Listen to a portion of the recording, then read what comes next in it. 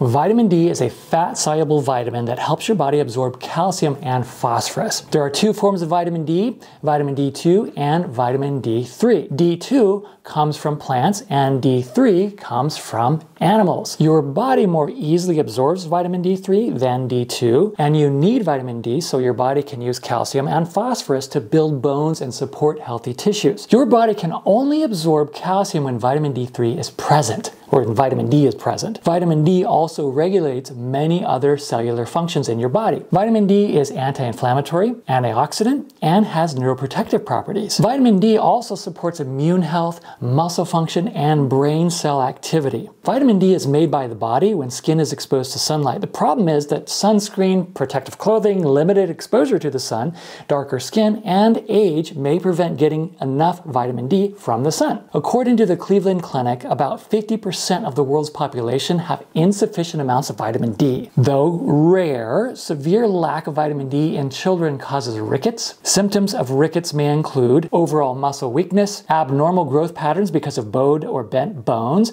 bone pain, and joint deformities. And children with a mild vitamin D deficiency may experience weak, sore, and painful muscles. Insufficient vitamin D in adults is harder to recognize, but symptoms may include fatigue, not sleeping well, well, bone pain or achiness, muscle weakness, muscle aches, muscle cramps, loss of appetite, hair loss, depression, or feelings of sadness. So, what can we do to address low levels of vitamin D? Get more sunlight, though more sunlight can cause your skin to age more rapidly as well.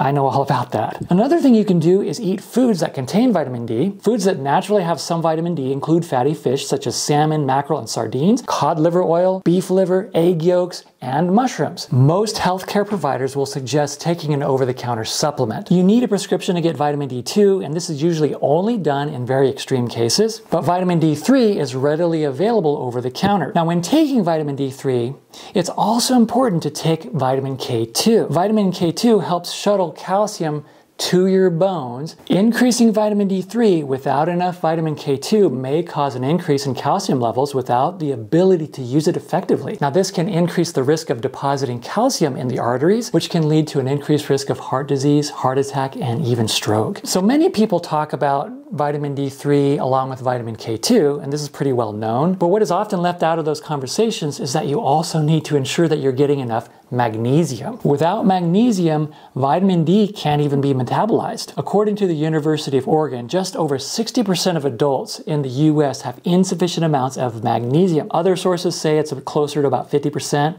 Either way, that's a big number. If a person's diet is mostly comprised of packaged processed products and junk food, then that person is very likely deficient in magnesium as well as D3 and K2. So if you're taking a vitamin D3 supplement and you're low in magnesium, the benefits of that vitamin D3 won't be nearly as much as you'd like it to be. So I used to take vitamin D3, K2, and magnesium separately, but I recently switched to an all-in-one, which I really like because it's a lot more convenient. This one right here from a company called DoNotAge. That's where I get most of my supplements. If you watch my videos, you already know that. All of their products are really high quality, which I really like.